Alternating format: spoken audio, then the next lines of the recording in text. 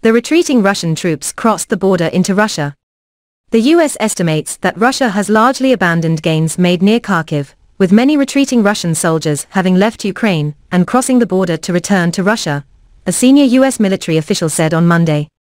In general, we believe that the Ukrainians have made progress in their struggle to liberate and recapture the southern and eastern regions. On the ground near Kharkov, we assess that Russian forces have largely ceded their gains to the Ukrainians and retreated to the north and east. Many of those troops have crossed the border into Russia, the US military official, who asked not to be named, told reporters, without giving specific numbers. We'll have more details soon.